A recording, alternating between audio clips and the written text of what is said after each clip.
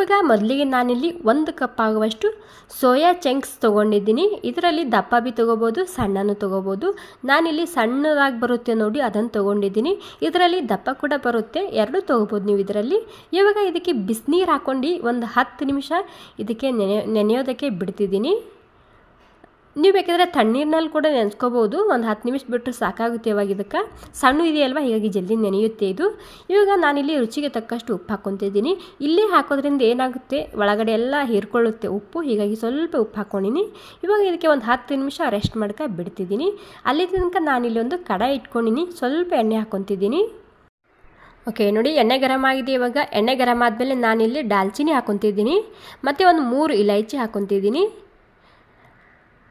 ಮತ್ತು ಒಂದು ಮೂರು ಲವಂಗ ಹಾಕ್ಕೊತಿದ್ದೀನಿ ಒಂದು ನಾಲ್ಕರಿಂದ ಐದು ಕರಿ ಮೆಣಸು ಹಾಕ್ಕೊತಿದ್ದೀನಿ ಮತ್ತು ಒಂದು ಸ್ವಲ್ಪನೇ ಪಲಾವ್ ಎಲೆ ಹಾಕ್ಕೊತಿದ್ದೀನಿ ಸುಮಾರು ಒಂದು ಪಲಾವ್ ಎಲೆ ಹಾಕ್ಕೊಂಡಿನಿ ಈ ಮಸಾಲ ಸ್ವಲ್ಪ ಸ್ವಲ್ಪನೇ ಹಾಕ್ಕೋಬೇಕು ಮತ್ತು ಜೀರಿಗೆ ಹಾಕ್ಕೊತಿದ್ದೀನಿ ಒಂದು ಚಮಚ ಆಗುವಷ್ಟು, ಮತ್ತು ಒಂದು ಚಮಚ ಆಗುವಷ್ಟು ಸೋಪ್ ಹಾಕ್ಕೊತಿದ್ದೀನಿ ಈ ಸೋಪ ಈ ಗ್ರೇವಿಯಲ್ಲಿ ತುಂಬ ರುಚಿ ಬರುತ್ತೆ, ಹೀಗಾಗಿ ಇತ್ತಂದರೆ ಮಿಸ್ ಮಾಡದೆ ಹಾಕ್ಕೊಳ್ಳಿ.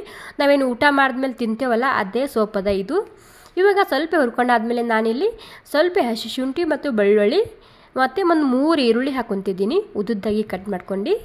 ಇವಾಗ ಮೊದಲಿಗೆ ನಾನು ಈರುಳ್ಳಿ ಲೈಟಾಗಿ ಕೆಂಪಾಗೋ ತನಕ ಇದನ್ನು ಹುರ್ಕೊಂಡು ತೊಗೊತಿದ್ದೀನಿ. ಓಕೆ ನೋಡಿ ಹಾಗೆಯೇ ಮಿಕ್ಸ್ ಮಾಡ್ಕೊತ ಲೈಟಾಗಿ ಕೆಂಪಾಗಬೇಕು ಈರುಳ್ಳಿ, ಅಲ್ಲಿ ತನಕ ಹುರ್ಕೋಬೇಕಾಗುತ್ತೆ. ನೋಡಿ ಕೆಂಪಾಗಿದೆ ಇವಾಗ ಈರುಳ್ಳಿ, ಇಷ್ಟಾದರೂ ಸಾಕಾಗುತ್ತೆ. ಇವಾಗ ಇದರಲ್ಲಿ ಒಂದು ನಾಲ್ಕು ಟೊಮೆಟೊ ಹಾಕೊತಿದ್ದೀನಿ. ಉದ್ದುದ್ದಾಗಿ ಸಣ್ಣದಾಗಿ ಕಟ್ ಮಾಡ್ಕೊಂಡಿನಿ. ಮತ್ತು ಕೆಂಪಾಗಿದ್ದಂತಹ ಟೊಮೆಟೊ ತೊಗೊಂಡಿದ್ದೀನಿ. ಅದ್ರ ಜೊತೆಗೆ ಸ್ವಲ್ಪನೇ ಕರಿಬೇವು ಸೊಪ್ಪು ಕೂಡ ಹಾಕ್ಕೊತಿದ್ದೀನಿ ಮತ್ತು ಒಂದು ಸಪ್ಪಂದು ಹಸಿ ಮೆಣಸಿನ್ಕಾಯಿ ಹಾಕ್ಕೊತಿದ್ದೀನಿ ನೀವು ಇಲ್ಲಿ ಖಾರದ ಕೂಡ ಹಾಕೋಬೋದು. ಬೇಕಾದರೆ ಸ್ಕಿಪ್ ಕೂಡ ಮಾಡ್ಕೋಬೋದು ಮೆಣಸಿನ್ಕಾಯಲ್ಲಿ ಇವಾಗ ಟೊಮೆಟೊ ನಾನು ಸಾಫ್ಟ್ ಆಗೋ ತನಕ ಹುರ್ಕೊಂಡು ತೊಗೊತಿದ್ದೀನಿ. ಓಕೆ, ನೋಡಿ, ಎಲ್ಲ ಮಸಾಲ ಸಾಫ್ಟ್ ಆಗಿದೆ ಇವಾಗ, ನೋಡ್ತಿರ್ಬೋದು. ಇಷ್ಟಾದರೂ ಸಾಕಾಗುತ್ತೆ ಇವಾಗ. ನಾನು ಗ್ಯಾಸ್ ಬಂದ್ ಮಾಡ್ಕೊಂಡು ಕೆಳಗಡೆ ಇಟ್ಕೊತಿದ್ದೀನಿ. ವಾಪಸ್ ಇದೇ ಪ್ಲೇಟ್ನಲ್ಲಿ ನಾನು ಹಾಕ್ಕೊಂಡು ಬಿಡ್ತಿದ್ದೀನಿ ಒಂದು ಹತ್ತು ನಿಮಿಷ ಆಗೋ ತನಕ. ಅಥವಾ ಸ್ವಲ್ಪ ತಣ್ಣಗಾಲಿದು ತಣ್ಣಗಾದ್ಮೇಲೆ ಮಿಕ್ಸಿಯಲ್ಲಿ ಪೇಸ್ಟ್ ಮಾಡ್ಕೋಬೇಕಾಗುತ್ತೆ ಈ ಮಸಾಲ. ಓಕೆ, ಇವಾಗ ಇಲ್ಲಿ ಸೋಯಾ ಕೂಡ ಸುಮಾರು ಒಂದು ಹತ್ತು ನಿಮಿಷ ಆಗಿದೆ ಇವಾಗ ಇದಕ್ಕೆ. ಇದು ಹಿಂಡ್ಕೊಂಡು ತೊಗೊತಿದ್ದೀನಿ. ಅದು ಮಸಾಲೆ ಅಲ್ಲಿ ತನಕ ತಣ್ಣಗಾಗುತ್ತೆ. ಓಕೆ, ನೋಡಿ, ಇವಾಗ ಈ ರೀತಿ ಹಿಂಡ್ಕೊಂಡು ತೊಗೊಂಡಾಗಿದೆ ಇವಾಗ, ನೋಡ್ತಿರ್ಬೋದು. ಇವಾಗ ಎಲ್ಲನೂ ಸೇರಿಸಿ ನಾನು ಹಿಂಡ್ಕೊಂಡಾಗಿದೆ ಇವಾಗ. ಹಿಂಡ್ಕೊಂಡು ಆದಮೇಲೆ ನಾನು ಇದಕ್ಕೆ ರುಚಿಗೆ ತಕ್ಕಷ್ಟು ಉಪ್ಪು ಹಾಕ್ಕೊತಿದ್ದೀನಿ ಉಪ್ಪು ನಾವು ಮೊದಲೇನೆ ಹಾಕಿರ್ತೀವಲ್ಲ, ನೋಡ್ಕೊಂಡು ಹಾಕ್ಕೊಳ್ಳಿ ಮತ್ತು ಒಂದು ಪಾವು ಚಮಚ ಆಗುವಷ್ಟು ಅರಿಶಿನ ಕೂಡ ಹಾಕ್ಕೊತಿದ್ದೀನಿ ಓಕೆ ನೋಡಿ, ಇದು ಅರ್ಶಿಣದ ಒಂದು ಪಾವು ಚಮಚ ಆಗುವಷ್ಟು. ಮತ್ತು ಖಾರಕ್ಕೆ ಎಷ್ಟು ಬೇಕಷ್ಟು ರೆಡ್ ಖಾರದ ಪುಡಿ ಹಾಕ್ಕೊತಿದ್ದೀನಿ ನಾನಿಲ್ಲಿ ಸುಮಾರು ಒಂದು ಚಮಚ ಆಗುವಷ್ಟು ಹಾಕಿದ್ದೀನಿ. ಅರ್ಧ ಚಮಚ ಆಗುವಷ್ಟು ಗರಂ ಮಸಾಲ, ಒಂದು ಚಮಚ ಆಗುವಷ್ಟು ಧನಿಯಾ ಪೌಡರ್ ಹಾಕ್ಕೊಂಡಿನಿ ಓಕೆ ಇವಾಗ ನಾನಿಲ್ಲಿ ಒಂದು ಒಂದು ಕಪ್ ಆಗುವಷ್ಟು ಗಟ್ಟಿಯಾಗಿರುವಂತಹ ಮೊಸೂರ ಸ್ಮೂತ್ ಮಾಡ್ಕೊಂಡು ಹಾಕ್ಕೊತಿದ್ದೀನಿ ಓಕೆ ಸ್ಮೂತ್ ಮಾಡ್ಕೊಂಡೇ ಹಾಕ್ಕೊಳ್ಳಿ ಮೊಸರು ನೀವಿಲ್ಲಿ. ಒಂದು ಸ್ವಲ್ಪ ಕೊತ್ತಂಬರಿ ಸೊಪ್ಪು ಹಾಕ್ಕೊಂಡು ಇದನ್ನು ಕೈಲಿಂತೇ ಸರಿಯಾಗಿ ಮಿಕ್ಸ್ ಮಾಡ್ಕೊತಿದ್ದೀನಿ. ಎಲ್ಲನೂ ಸರಿಯಾಗಿ ಕೋಟಿಂಗ್ ಆಗಬೇಕಿದು, ಆ ರೀತಿ ಮಿಕ್ಸ್ ಮಾಡ್ಕೊಳ್ಳಿ.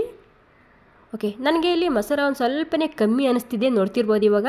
ಹೀಗಾಗಿ ನಾನಿಲ್ಲಿ ಮತ್ತೆ ಒಂದು ಮೂರರಿಂದ ನಾಲ್ಕು ಚಮಚ ಆಗುವಷ್ಟು ಮೊಸರು ಹಾಕ್ಕೊತಿದ್ದೀನಿ ಟೋಟಲಿ ಇಲ್ಲಿ ಚೋಯೆ ಚಂಕ್ಸ ಕೋಟಿಂಗ್ ಆಗಬೇಕು ಆ ರೀತಿ ಮೊಸರನ್ನ ಹಾಕೋಬೇಕಾಗುತ್ತೆ ಇಲ್ಲಿ.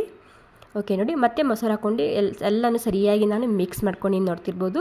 ಇವಾಗ ಉಪ್ಪ, ಖಾರ ಹಿರ್ಕೋಬೇಕು ಹೀಗಾಗಿ ಒಂದು ಹತ್ತು ನಿಮಿಷ ಇದಕ್ಕೆ ರೆಸ್ಟ್ ಮಾಡ್ಕೊ ಬಿಡ್ತಿದ್ದೀನಿ. ಓಕೆ ಹತ್ತು ನಿಮಿಷ ಆಗಿದೆ ಇವಾಗ. ಇಲ್ಲಿ ಇಲ್ಲಿ ಮಸಾಲ ಕೂಡ ತಣ್ಣಗಾಗಿದೆ ಇವಾಗ. ಇದನ್ನು ನಾನು ಮಿಕ್ಸಿಯಲ್ಲಿ ಪೇಸ್ಟ್ ಮಾಡ್ಕೋಕೆ ಹಾಕೊತಿದ್ದೀನಿ. ಓಕೆ, ನೋಡಿ, ಎಲ್ಲ ಸೇರಿಸಿ ನಾನು ಮಿಕ್ಸಿಯಲ್ಲಿ ಹಾಕೊಂಡಾಗಿದೆ ಇವಾಗ. ಅದ್ರ ಜೊತೆಗೆ ನಾನು ಒಂದು ಸ್ವಲ್ಪನೇ ನಾನಿಲ್ಲಿ ಕಾಜು ತೊಗೊಂಡಿದ್ದೀನಿ. ಕಾಜು ಹಾಕೋದ್ರಿಂದ ಗ್ರೇವಿ ಗಟ್ಟಿಯಾಗಿ ಬರುತ್ತೆ, ನೀರು ನೀರಾಗಿ ಬರೋದಿಲ್ಲ, ಮತ್ತು ರುಚಿ ಕೂಡ ಹೆಚ್ಚಾಗುತ್ತೆ. ನೀವು ಇದರ ಬದಲಾಗಿ ಬಿಳಿ ಎಳ್ಳು ಕೂಡ ಹಾಕೋಬೋದು, ಒಂದು ಎರಡು ಮೂರು ಚಮಚ ಆಗುವಷ್ಟು. ಇವಾಗ ಇದನ್ನು ನಾನು ನೀರು ಹಾಕ್ದೇನೆ ಹಾಗೆಯೇ ಸ್ಮೂತಾಗಿ ರುಬ್ಕೊತಿದ್ದೀನಿ. ನೋಡಿ ಸ್ಮೂತಾಗಿ ರುಬ್ಕೊಂಡಾಗಿದೆ ಇವಾಗ? ನೋಡ್ತಿರ್ಬೋದು. ಸ್ಮೂತಾಗಿ ರುಬ್ಕೊಂಡಾದ್ಮೇಲೆ ನಾನಿಲ್ಲಿ ಕಡಾಯಿ ಇಟ್ಕೊಂಡಿನಿ. ಕಡಾಯಿನಲ್ಲಿ ಒಂದು ಸ್ವಲ್ಪ ಎಣ್ಣೆ ಹಾಕ್ಕೊತಿದ್ದೀನಿ ಎಣ್ಣೆ ಈ ಟೈಮ್ನಲ್ಲಿ ಸ್ವಲ್ಪ ಜಾಸ್ತಿ ಇರಲಿ. ಓಕೆ, ಎಣ್ಣೆ ಗರಮ್ ಆಗಿದೆ ಇವಾಗ. ಎಣ್ಣೆ ಗರಮ್ ಆದಮೇಲೆ ಒಂದು ಸ್ವಲ್ಪ ಹಿಂಗೆ ಹಾಕ್ಕೊತಿದ್ದೀನಿ ಮತ್ತು ಕರಿಬೇವು ಸೊಪ್ಪು ಹಾಕ್ಕೊತಿದ್ದೀನಿ ಇವಾಗ ಸ್ವಲ್ಪ ಕರಿಬೇವು ಸೊಪ್ಪ ಬಾಡ್ಸ್ಕೊತಿದ್ದೀನಿ ಬಾಡ್ಸ್ಕೊಂಡಾದ್ಮೇಲೆ ಇವಾಗ ನಾವು ಟೊಮೊಟೊ ಮತ್ತು ಈರುಳ್ಳಿ ಪೇಸ್ಟ್ ಮಾಡಿ ಇಟ್ಕೊಂಡಿದ್ದೀವಲ್ಲ ಅದನ್ನು ಹಾಕ್ಕೊತಿದ್ದೀನಿ ಇವಾಗ ನೀರು ಹಾಕ್ಬಾರ್ದು ಇದಕ್ಕೆ ಹಾಗೇ ಹುರ್ಕೋಬೇಕಾಗುತ್ತೆ ಮೊದಲಿಗೆ ಒಂದು ಮೂರ್ನಾಲ್ಕು ನಿಮಿಷ ಆಗೋ ತನಕ ಮಸಾಲ. ಮಿಕ್ಸಿಯಲ್ಲಿ ಪೇಸ್ಟ್ ಹತ್ತಿದೆ, ಹೀಗಾಗಿ ಸ್ವಲ್ಪ ತೊಳ್ಕೊಂಡು ಹಾಕೊತಿದ್ದೀನಿ. ನೀರು ಜಾಸ್ತಿ ಹಾಕಿಲ್ಲ, ಜಸ್ಟ್ ಮಿಕ್ಸಿ ತೊಳ್ಕೊಂಡು ಹಾಕ್ಕೊಂಡಿನಿ ನೀರಿಲ್ಲಿ.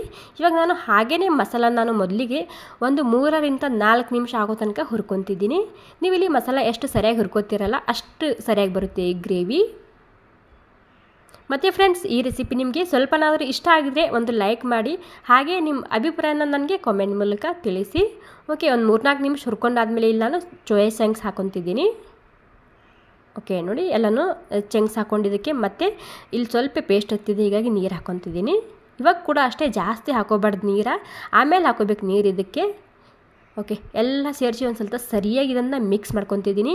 ಮತ್ತು ಈ ಚಂಕ್ಸ್ ಹಾಕಿದ ಮೇಲೆ ನೀವಿಲ್ಲಿ ಲಗಾತಾರ್ ಅಂದರೆ ಬಿಟ್ಟು ಬಿಡದೆ ಕೈ ಆಡಿಸ್ತಾನೆ ಇರಬೇಕಿಲ್ಲಿ ಯಾಕಂದರೆ ನಾವು ಮೊಸರು ಹಾಕಿರ್ತೀವಲ್ಲ, ಹೀಗಾಗಿ ಒಂದು ಕುದಿ ಬರೋತನ ನೀವು ಕೈ ಆಡಿಸ್ತಾನೆ ಇರಬೇಕಾಗುತ್ತೆ ಇಲ್ಲಿ.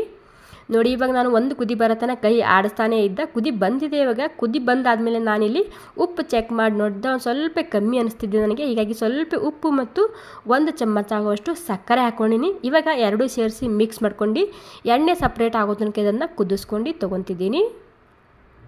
ಒಂದು ಸ್ವಲ್ಪ ಗಟ್ಟಿಯಾಗಿದೆ ಗ್ರೇವಿ ಹೀಗಾಗಿ ನೀರನ್ನ ಹಾಕ್ಕೊಂಡು ಅಡ್ಜಸ್ಟ್ ಮಾಡ್ಕೊತಿದ್ದೀನಿ. ನೀವು ಇಲ್ಲಿ ಗ್ರೇವಿಗೆ ನೋಡ್ಕೊಂಡು ನೀರನ್ನ ಹಾಕ್ಕೊಳ್ಳಿ ಓಕೆ ಎಲ್ಲ ಸೇರಿಸಿ ಮಿಕ್ಸ್ ಮಾಡ್ಕೊಂಡಿದ್ದಕ್ಕೆ.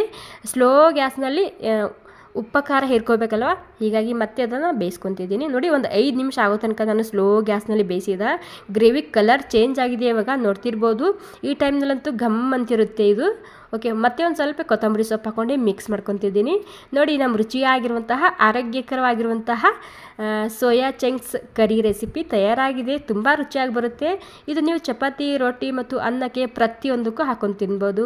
ತುಂಬಾ ರುಚಿಯಾಗಿರುತ್ತೆ ಮತ್ತು ಚಿಕನ್, ಮಟನ್ಗಿಂತ ಹೆಚ್ಚಿನ ಪ್ರೋಟೀನ್ ಅಂಶ ಇರುವಂತಹ ರೆಸಿಪಿ ಇದು. Okay thank you so much ಎಲ್ರಿಗೂ.